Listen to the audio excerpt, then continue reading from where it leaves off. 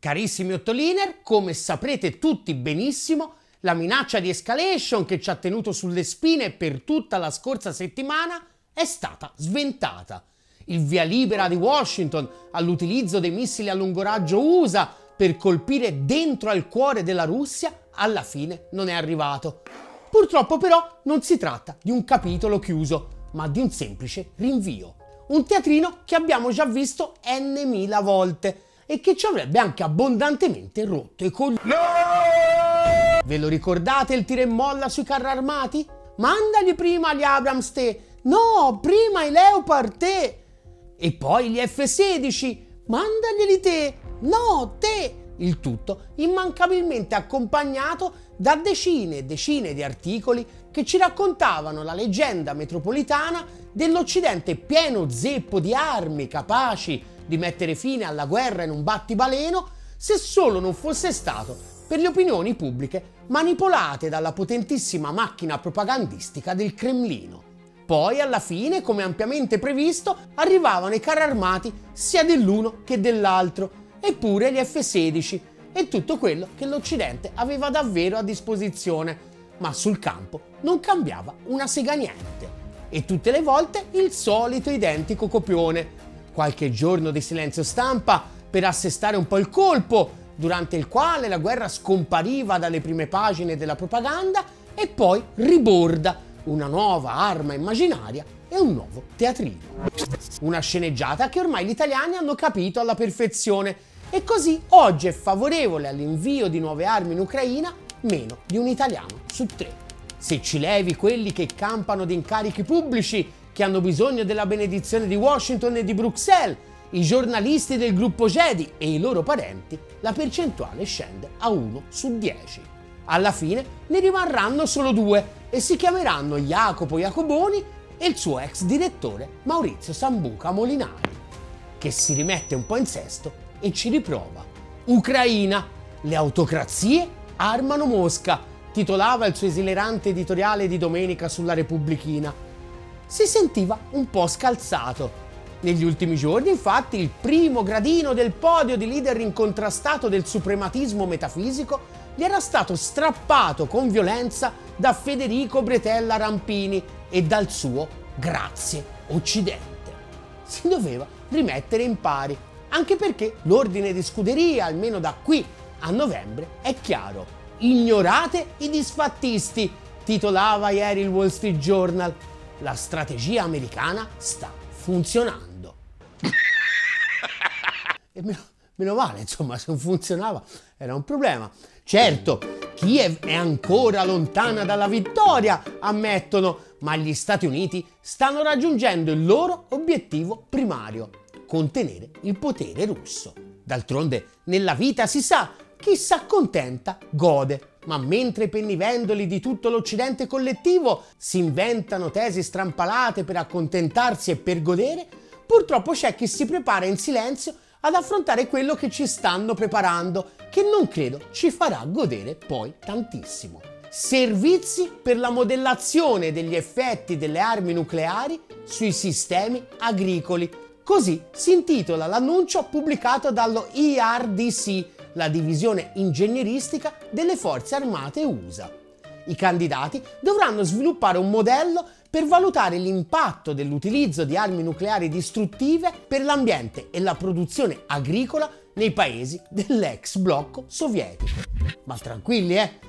Gli Stati Uniti stanno raggiungendo il loro obiettivo. Ma prima di addentrarci nei meandri di questa escalation rinviata, vi ricordo di mettere un like a questo video e permetterci così di combattere anche oggi la nostra guerra quotidiana contro la dittatura degli algoritmi. E se ancora non lo avete fatto anche di iscrivervi a tutti i nostri canali prima che chiudano quello che sta proprio sulla piattaforma che più amavate, come è successo di nuovo anche domenica con il canale YouTube di Red, Revolutionary Educational Documentaries, un piccolo canale di approfondimento chiuso con tanto di annuncio in pompa magna in conferenza stampa da Blinken stesso. Buona visione, finché dura almeno.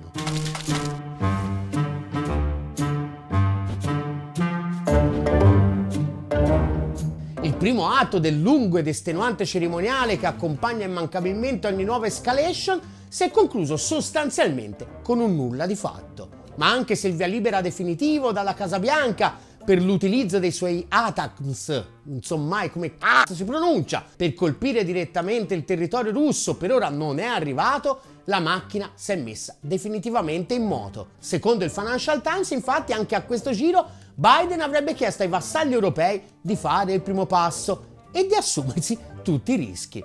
Si accoderanno più avanti, se e quando saranno sicuri che la risposta di Mosca sarà anche a questo giro tutto sommato moderata. D'altronde, per continuare a rimandare la disfatta definitiva dell'Ucraina, l'impiego dei missili a lungo raggio per colpire direttamente il suolo russo è tra le pochissime carte che rimangono prima dell'ingresso vero e proprio di truppe NATO in guerra. O meglio, diciamo che ne è l'antipasto. A cosa servono? Lo ha spiegato bene Zelensky stesso in una lunga intervista di ieri alla CNN, dove ha chiarito un po' di aspetti che probabilmente non sono stati particolarmente apprezzati dai NAFO più sfegatati. Forse pure troppo, nella solita logica, anche comprensibile, di piangere il più forte possibile quando c'è da chiedere armi nuove, per poi inventarsi per qualche giorno qualche successo mirabolante quando poi arrivano, e per poi ricominciare sempre tutto da capo. Zelensky in pratica ha dato ai suprematisti che seguono le cose militari la stessa quantità di sberle a quattro mani che pochi giorni fa San Mario Pio da Goldman Sachs aveva dato a quelli che seguono le faccende economiche. In entrambi i casi si è trattato di un risveglio piuttosto traumatico. Zelensky ricorda come negli otto mesi che il congresso USA ha impiegato per approvare il nuovo pacchetto di aiuti abbiamo dato fondo a tutto quello che avevamo a disposizione, sia in termini di riserve che di equipaggiamento. Ed ecco così che quando finalmente le nuove armi sono arrivate, erano messi così male che invece di riuscire ad equipaggiare adeguatamente 14 brigate come avevano previsto e richiesto, sono stati a malapena in grado di equipaggiarne 4. Non importa quante brigate riusciamo a impiegare in un settore se metà di queste brigate non sono equipaggiate, ha sottolineato. Non facciamo che perdere una marea di uomini, perché ad esempio mancano i veicoli corazzati. E oltre ai mezzi corazzati ovviamente a mancare è anche l'artiglieria. Per fare un confronto, dichiara Zelensky, probabilmente anche calcando un po' la mano, quando i russi hanno 12 munizioni noi ne abbiamo una. 1 a 12 questo è il rapporto. Ora, mentre loro davano fondo a tutto, i russi per otto mesi hanno avuto e ancora hanno mano libera nell'utilizzo della loro aviazione, dalla quale lanciano ogni mese 4.000 bombe guidate che hanno distrutto tutta la nostra rete elettrica, l'80%. Le basi di partenza di questi aerei, continua Zelensky, nel tempo sono state allontanate dal confine da 100-150 km a 300 km e passa e ora per colpirli abbiamo bisogno di nuovi permessi. Abbiamo bisogno di utilizzare queste armi a lunga gittata per attaccare i jet nelle basi militari, conclude. Insomma, queste armi sicuramente rappresenterebbero un passo avanti molto utile per Kiev, ma come tutti gli altri passetti avanti, pensare possa rappresentare davvero una svolta, così a occhio sembra una discreta cazzata. Lo sottolineava ieri con inusitata lucidità anche Carlo Nicolato sul Libero. L'eventuale utilizzo di tali missili, sia quelli britannici che quelli americani, scriveva, non avrebbero un impatto significativo sulla guerra. Il motivo principale, come sempre, è che alla fine si parlerebbe comunque di forniture decisamente limitate, del tutto insufficienti per ribaltare le sorti del conflitto. Soprattutto, sottolinea giustamente, dal momento che in questi due anni Mosca ha preso tutte le contromisure necessarie per ridurre significativamente l'efficacia degli HIMARS ed eventualmente degli stessi ATACMS, tutte le volte non so come si dice, lanciati da terra. Ciò nonostante la reazione di Putin è stata piuttosto drastica. Perché? Il primo punto ovviamente ha a che vedere con gli equilibri interni alla Russia.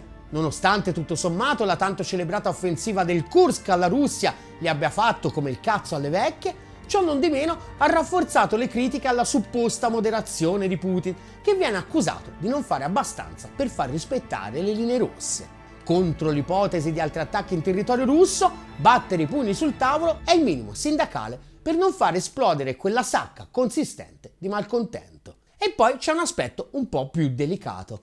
Ma prima di procedere, un brevissimo break pubblicitario. Dal 9 ottobre su Ottorina TV partirà una nuova trasmissione che conduco io.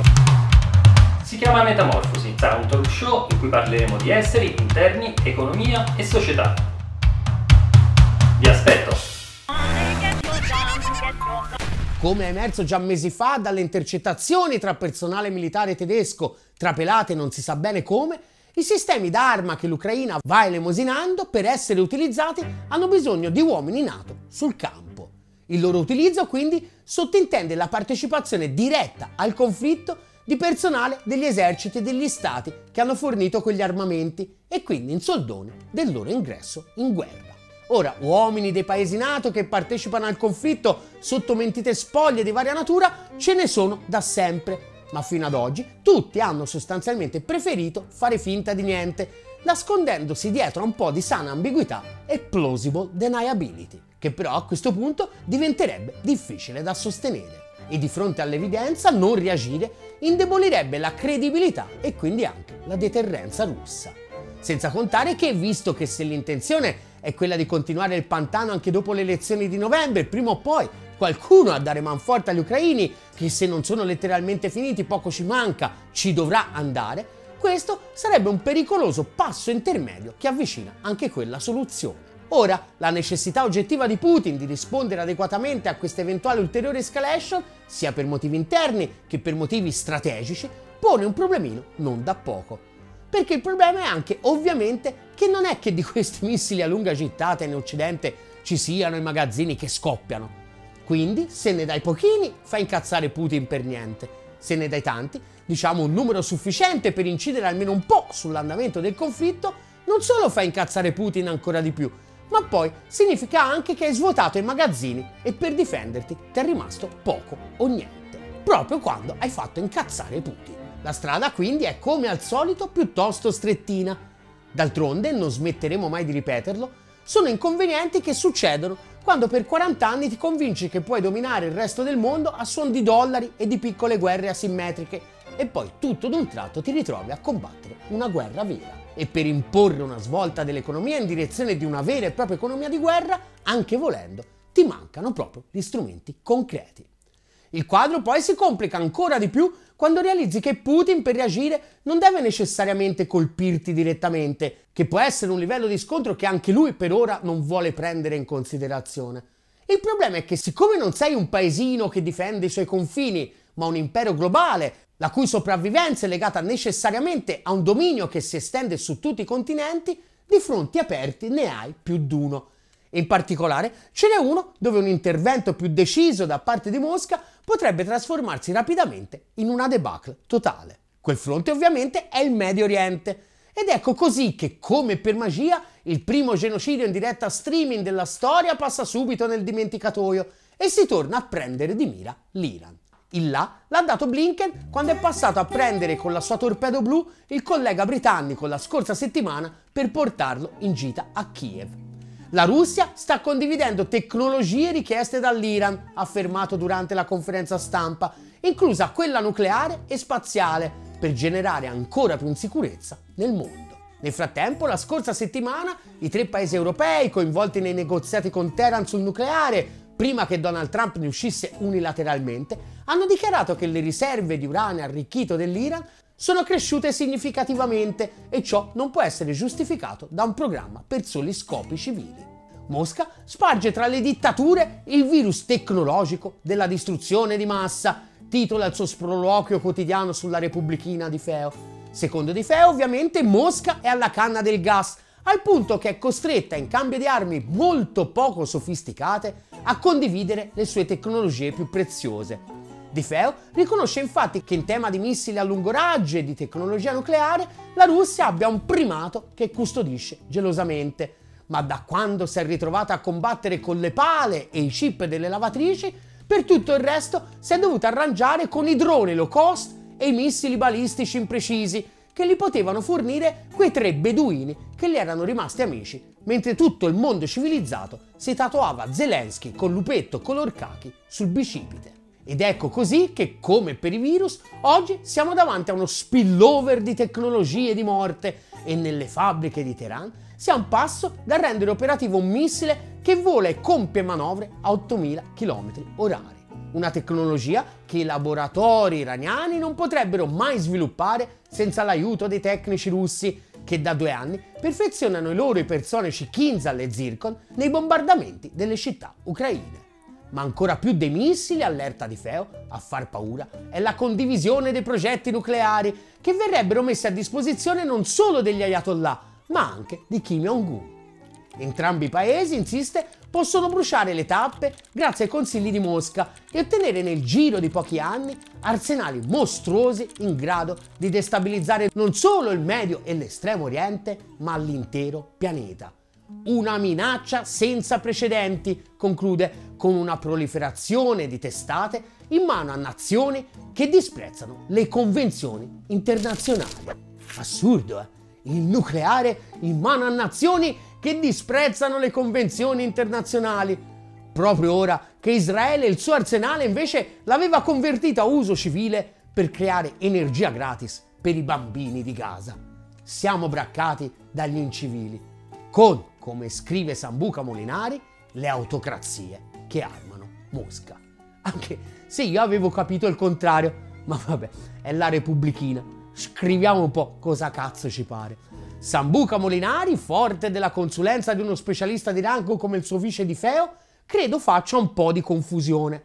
Definisce gli Ababil iraniani missili a corto raggio che consentono di colpire obiettivi con estrema precisione. Ma quanto mi ricordo però gli Ababil sono droni che l'Iran usa da sempre e non mi pare siano particolarmente avanzati. Forse più probabile Sambuca Molinari si riferisce invece ai missili balistici FAT 360 che in effetti sì, Teheran sembra abbia fornito a Mosca. Sambuca ricorda come Borrell abbia definito questa fornitura addirittura una minaccia diretta alla sicurezza europea, anche se non si capisce in che modo, visto che hanno una gittata di poco superiore ai 100 km. Ma poco importa, visto che a Mosca direttamente non c'è verso di fargli danni, ora tocca concentrarsi su Teheran e ogni vaccata è un'occasione imperdibile per assestare un colpo a questo asse delle autocrazie. Per questo nuovo scontro di civiltà, Sambuca individua poi anche un nuovo paladino, uno che non le manca a dire e che finalmente ha avuto il coraggio di denunciare apertamente il pericolo della collaborazione militare fra le autocrazie, accomunate dalla volontà di indebolire le nostre democrazie. Quel paladino si chiama Lindsey Graham. Quel Lindsey Graham. Sono seduti su 10-20 trilioni di dollari di minerali critici in Ucraina. Potrebbero essere il paese più ricco di tutta l'Europa. Non voglio dare quei soldi e quegli asset a Putin da condividere con la Cina. Aiutiamo l'Ucraina adesso.